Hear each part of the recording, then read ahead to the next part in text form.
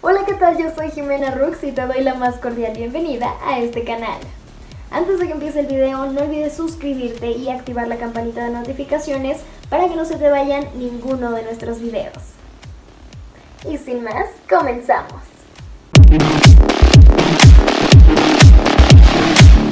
50 millones por Kylian Mbappé, el PSG y el Real Madrid ofrecen tremendos millonadas por el francés. El futuro de Kylian Mbappé sigue siendo uno de los temas más relevantes y el Real Madrid continúa con la idea de incorporarlo.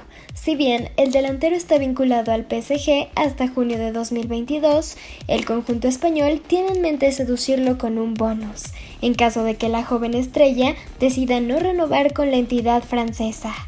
Según el diario Marca, si Mbappé llega al equipo merengue de manera libre, el Real Madrid le pagaría 40 millones de euros.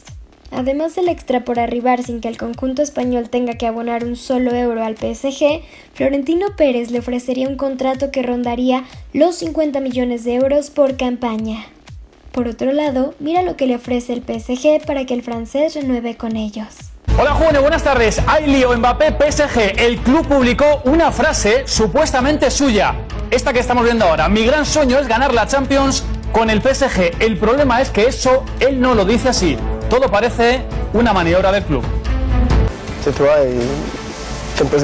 Neymar busca a Mbappé y recibe seriedad. Si nos vamos a la revista del PSG, la conversación transcrita es esta. ¿Y tú, Kylian? Es la Liga de Campeones, ¿no? ¿Por qué no otra Copa del Mundo? Pero en el vídeo publicado desaparece esa parte en español. Gesto para aplaudir algo insólito por los Juegos Olímpicos de Tokio 2020, la doble medalla de oro en salto. Durante esta disciplina, tanto el catarí como el italiano se hicieron acreedores a la medalla de oro, pero esto se dio a que ambos atletas decidieron compartir la medalla de oro y así ganar doble. Pueden continuar, les está diciendo el juez.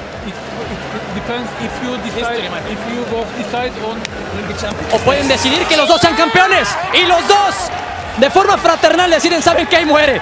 Ahí muere Alejandro. Yo me quedo con la de oro y tú también. Espectacular lo que hemos visto. Qué imagen, Ale. Qué escena. Estoy anonadado, ¿eh? Aparte pudimos... Qué increíble. Podemos apreciarlo gracias a, ese sonido ambiente, ¿no? Lo cerca que estaba el boom de audio que nos permitió apreciar cómo el juez le decía, a ver, puede venir un jump off a un salto cada quien y ver si alguien puede establecer la marca. De repente se voltean a ver los dos con cara de, nah, mejor lo dejamos así. Doble medalla de oro, una para Qatar con Barshim y lo de Tambieri, que se había perdido los Juegos Olímpicos anteriores por esa lesión. Miren el tobillo izquierdo, incluso todavía utiliza una protección. Nuevo puntero de la Liga Pro, Independiente golea a Macará y es líder de la segunda etapa. Independiente del Valle se impuso con amplia ventaja en el marcador al vencer por 4 a 0 a Macará este domingo en el Estadio Banco Guayaquil en acciones de la jornada 2 de la segunda etapa de la Liga Pro. La diferencia de goles permitió a los negriazules pasar a liderar la fase 2 en un grupo de varios clubes con dos triunfos consecutivos. Los demás resultados. Orense no pudo ganar ante Delfín y terminó empatando 2 por 2. Independiente goleó como local 4 por 0 a Manta. Emelec igualó como local 2 por 2 ante Aucas. Ante esto, la tabla quedó así. Primero Independiente del Valle con 6 puntos más 5 de gol de diferencia. Segundo, 9 de octubre con 6 puntos más 4 de gol de diferencia, al igual que Universidad Católica. Cuarto, Barcelona con 6 puntos más 3 gol de diferencia, al igual que Guayaquil City. Sexto, Emelec con 4 puntos más un gol de diferencia. Séptimo, Aucas con 2 puntos con 0 de gol de diferencia, al igual que Delfín. Noveno Orense, Mushugruna y Técnico Universitario, los tres tienen un punto y menos un gol de diferencia. Duodécimo Deportivo Cuenca, 0 puntos menos 2 goles de diferencia. Décimo tercero Liga de Quito, 0 puntos menos 3 goles de diferencia, al igual que Olmedo y Manta. Décimo sexto Macará con 0 puntos menos 6 de gol de diferencia. La próxima fecha. Este viernes 6 de agosto a las 19 horas, Deportivo Cuenta versus Manta. El sábado 7 de agosto a las 15 horas, Mushugruna versus Independiente. Ese mismo día a las 17.30, Universidad Católica versus Liga de Quito. A las 20 horas, Barcelona versus Guayaquil City. El domingo 8 de agosto a las 14 horas, Aucas versus Orense. Ese mismo día a las 16.30, 9 de octubre versus Técnico Universitario. A las 19 horas, Delfín versus Emelec. Y el lunes 9 de agosto a las 19 horas, Macara versus Olmedo. Tremenda asistencia de Fernando Gaibor, el ecuatoriano y su magistral pase para su compañero. Durante el partido contra Macará, el tricolor se lució con semejante asistencia para que así su compañero defina de primera. Liga de Quito ya tiene rival si clasifica semifinales, Peñarol Sporting Cristal le esperan en la siguiente instancia de Copa Sudamérica. La Conmebol dio a conocer los siguientes rivales de Liga de Quito en caso de eliminar Atlético Paranaense en cuartos y así clasificar a semis de la Sudamericana, donde sería el ganador del partido Peñarol versus Sporting Cristal. Nueva asistencia de Michael Estrada con el Toluca, el ecuatoriano fue fundamental en la victoria de su equipo en la Liga MX. El delantero Michael Estrada destacó con una asistencia en la remontada del Toluca por 3 a 1 sobre Tigres este domingo en la segunda jornada del torneo Apertura Mexicano 2021. Estrada, que ingresó a los 22 minutos del primer tiempo, aportó con un pase a la derecha para que Raúl López quede en buena posición y anote con disparo potente a los 33 minutos. La conquista fue clave para igualar el encuentro y empezar la remontada luego de que Guido Pizarro adelantara a los visitantes a los 27 minutos. El propio jugador posteriormente fue expulsado a los 65 histórico, la primera mujer en ganar una medalla de oro en los Juegos Olímpicos. La dedicatoria para su madre y hermano, Neisy Dajomes, y su gesto tras ganar la medalla de oro de los Juegos Olímpicos de Tokio 2020.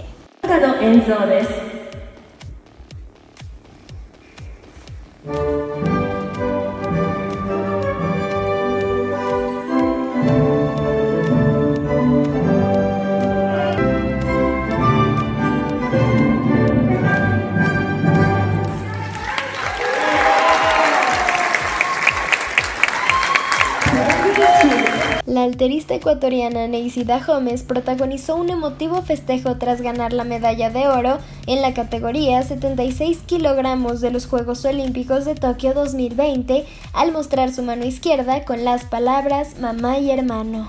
Dahomes dedicó su éxito a quienes ya no tiene a su lado.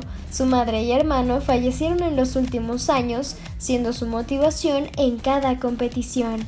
Pasé momentos duros, perdí a mi madre y hace poco a mi hermano Javier Palacios, por quien estoy aquí. Todos mis logros son dedicados a su memoria, les agradezco por haber sido tan importantes en mi vida, expresó la campeona en declaraciones publicadas por el Comité Olímpico Ecuatoriano. La deportista de 23 años hizo historia además al convertirse en la primera mujer ecuatoriana en conseguir una medalla en los Juegos Olímpicos. Momento que lloró su familia tras verla ganar la medalla de oro, mira cómo vivieron los familiares de Neisy Dahomes tras ganar los Juegos Olímpicos de Tokio 2020. Previo a la medalla de oro y posterior a ella, la familia de la ecuatoriana celebró la medalla de oro cantando la popular canción Ecuatoriano Soy.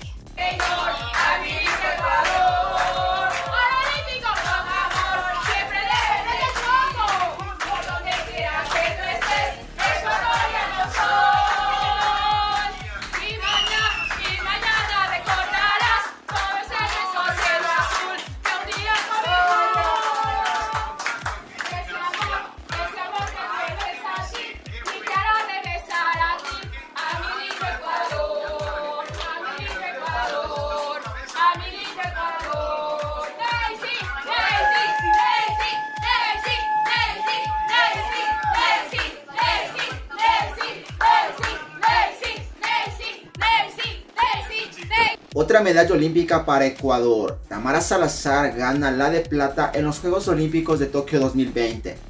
La ecuatoriana Tamara Salazar y la dominicana Chris Mary Santana conquistaron este lunes las medallas de plata y bronce en la categoría de 87 kilogramos de la alterofilia de los Juegos Olímpicos Tokio 2020. Las pesistas latinoamericanas solo fueron superadas por la china Song Yu Wang, que cosechó el sexto oro de China en la alterofilia de Tokio 2020. Salazar levantó un total de 263 kilogramos y Santana alzó 256 a considerable distancia de los 270 de Wang, campeona de los mundiales 2018 y 2019. La ecuatoriana se mostró sólida en la prueba al no fallar en ninguno de los intentos en ambas modalidades, siendo la única atleta en la competencia en lograrlo. De esta forma, Tamara Salazar brindó a Ecuador su segunda medalla en la alterofilia de Tokio 2020. Tremenda pelea entre Cristiano Boa con Gustavo Alfaro, el zar le cantó sus verdades al técnico de Ecuador.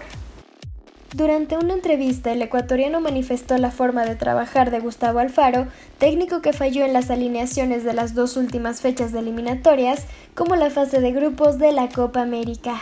A mí me preguntaron exactamente por qué perdemos con Perú. Yo le dije, porque sencillamente los jugadores titulares no viene ninguno jugando y los que venimos nosotros de, digamos así, suplentes, nosotros sí venimos jugando y no, no, nos da la oportunidad de jugar. Esa es la verdad, hoy por hoy es la verdad. En una selección viene el que está en su mejor momento, no el que vino jugando bien, no, viene el que mejor momento. Ya nos pasó con profe Quinteros y le va a pasar al profe Gustavo.